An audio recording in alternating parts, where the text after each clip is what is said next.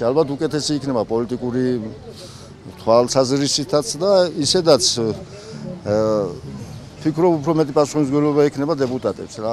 მეც თანახმოვარ პროპორციული არჩევნები რო იყოს და ეს რას შეცვლის ჩვენი ქვეყნისთვის რამდენად კარგი? ბევრად უკეთესი იქნება რა, ბევრად ძალიან ბევრი ყოველას თავისი პროცენტული ხმა ექნება და იმდენი პროცენტული გავა რომ ყველა ნებისმიერი საჭირო საკითხი ნორმალურად გავა პარლამენტში. რა ვიცი, რა უნდა გითხრა, ჩემო კარო, ხალხისთვის რაც უკეთესი იქნება, ის კარგი იქნება ალბათ და ალბათ ეგრეც ჯობია. ხალხის აზრი ნაკლებად აინტერესებს, მე ასე ვფიქრობ, გინ თავრობას და უფრო თავრობას კიდე უფრო ოპოზიციას, ჩემო კარო. იცი რატო? ოპოზიციას რო ხალხის აზრი აინტერესებდეს, არა, ხალხს იმ სასაკლაოზე არ მიიყვანდა. გადაწყვეტილება სწორი იყო და მოთხოვნა სწორი იყო, ჩემი აზრით.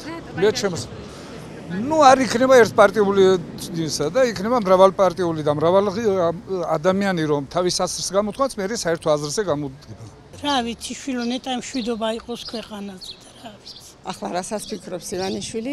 მაგის გადაწყვეტილებას ნამდვილად არ ვეთანხმები ახლა მე რას ვკითხავს მაგრამ რა თქმა უნდა საღიაზრია. ძალიან კარგი იქნება. რა მხრივ აი მაგალითად.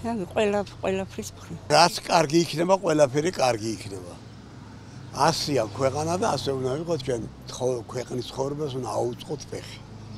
ეხლა საქართველოში ვერავინ ვერ იტყვის ვერაფერს. წინასწარ რამე. ცხოვრება გვიჩვენებს ყველაფერს გზადაგზა რა შეხდება და რა არ შეხდება.